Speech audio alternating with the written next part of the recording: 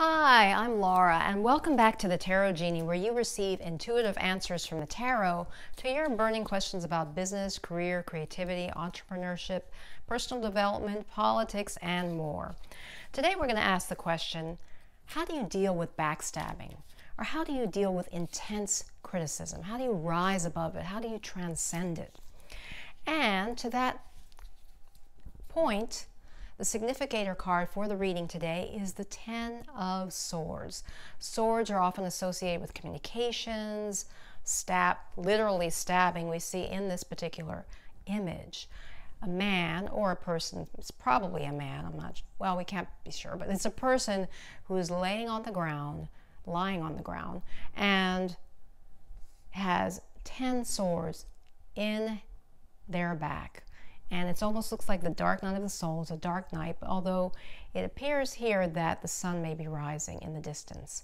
But it's definitely a scene where someone appears to be completely depleted, been backstabbed, been defeated. And this comes up often especially I was coming across some things on the internet on YouTube uh, personal development authors, etc., talking and talking about getting intense criticism, you know, online and how you deal with it. You get started getting these trolls and these people that just pipe in with intensely cruel remarks or ridiculous remarks. And how do you, you know, how do you withstand that? How do you stay strong with that? And it's true. I mean, I know in the past, before we were talking about online or things, or even in the more more recent past just being aware of some situations, I knew that probably I was being trashed, in particular a personal situation. And it just irked me to no end and to realize that I was being trashed, perhaps to this other person, and I had no way of defending myself. It just, it was an, it was an impossibility. And I kind of had to rise above that. So I thought, given that the frequency of trolls and the amount of cyberbullying, frankly, on that we experience online, and especially most recently this past week when Mitt Romney, Senator Mitt Romney of Utah, spoke so eloquently and from the heart about why he was voting to convict Trump, being the only Republican senator to make that choice after that, and he said he realized he was going to to get a lot of flack. He was going to be get all kinds of criticism from the president, etc. And he did not exaggerate. They not remarks coming from Trump and his son Don Jr. were just so reprehensible. However, Mitt Romney in a way reminds me of, and I should have also maybe if I can find this right now, but we'll see if it pops up in the reading. It reminds me of the King of Cups, and I'll show that card in a little bit. King of Cups to me is like Atticus Finch, someone who's able to just be cool, calm, collected, just that wonderful fatherly image, someone who's able to withstand all kinds of criticism and all kinds of negative feedback and just rise above, stay above it, stay cool, stay collected. So um, that's going to be the focus today. You know, how can you do this?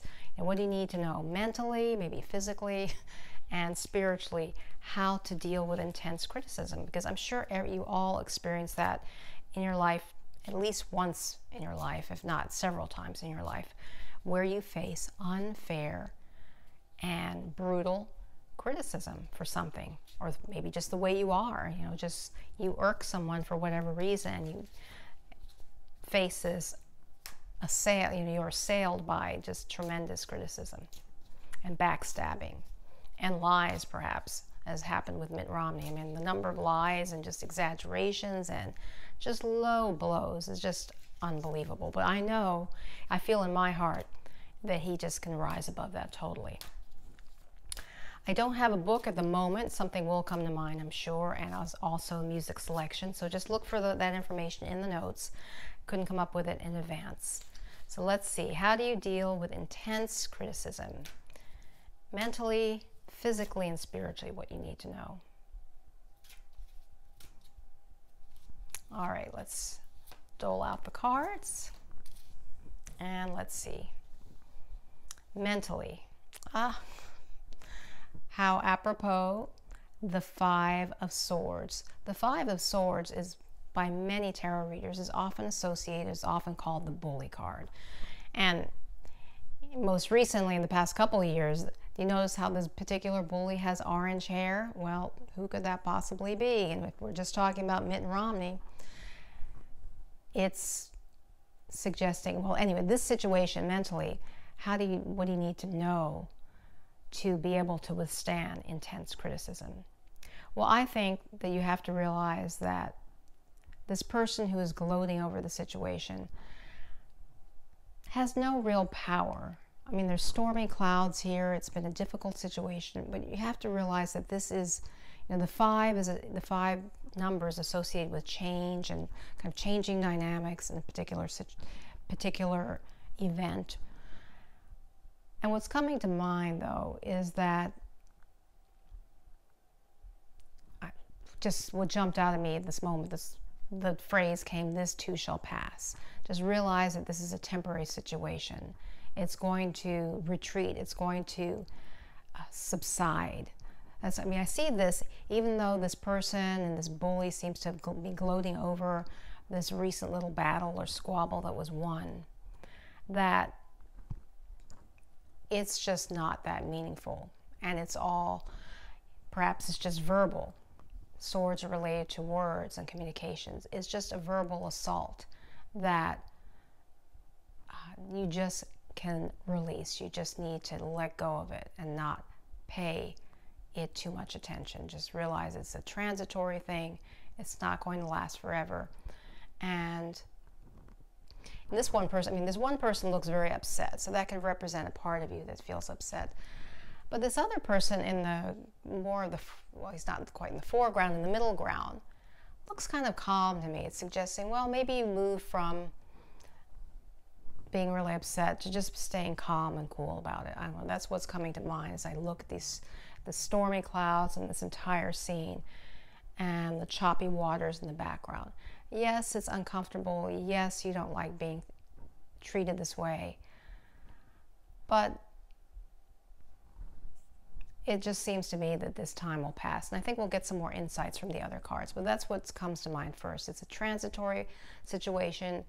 And even though words can be brutal, words can be cruel, words can be cutting, you can rise above them. I don't know, that's what's coming to my mind. physically, oh, how interesting.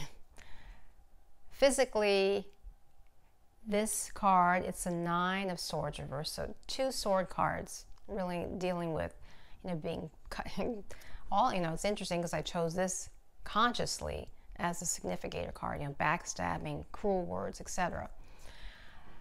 Physically, it's saying you need to get out of, you know, maybe you've been in that dark night of the soul, you've been crying, you've been eh, feeling angst in your body. Do whatever it takes to start releasing this, to try to transcend it. You know, this is time to let go, to consciously, and maybe you need to move your body, get out of bed, get out of what you've been doing, and start moving away from the whole thing, to start releasing it. That this is what you physically have to get release the feelings of turmoil and anger and upset, consciously make a decision. You've got to just consciously release it. That's what's coming to mind here. And it's interesting, in this image, we have this little battle going on. You probably can't see it on the camera, but on etched in this on this bed or is a fighting. It's people are fencing. They're they're they're fighting with swords.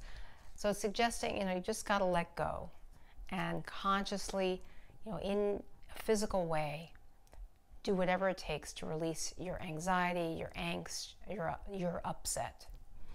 and finally, spiritually, hmm, interesting, the Two of Wands reversed. When upright, Two of Wands suggests someone who is, well, I always see this card as I've got the whole world in my hands. That song too comes to mind.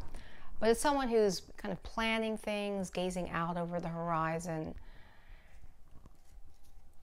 Given that it's reversed, it suggests to me that if you're trying to rise above criticism, handle it in a way that elevates you out of the situation is to deeply internalize like what, what you're going to do next, how you're going to move forward. Internalize a vision for which you have a lot of passion and purpose. You've got to internalize the, the wands deal with passion and purpose. And in this image of this particular individual who's gazing out, suggests to me he's planning something, he's got a vision for something. So to be able to rise above criticism and being backstabbed and being just that onslaught of being assailed neg- negatively is to deeply internalize something that's important to you, something that's much that's going to carry a lot of weight with you and that's going to energize and impassion and give you something that you're really passionate about. That's a key way that you can rise above. You know, you you take your mind off of the onslaught and you stay true to your purpose. And when you stay true to your purpose, you are not going to get thrown off by anything because you know you're strong. You've got that inner strength, that inner vision. When you have that inner vision and drive and purpose, that's going to carry you above anything and beyond anything. I hope this reading has been helpful for you. If you've not already subscribed, please hit the subscribe button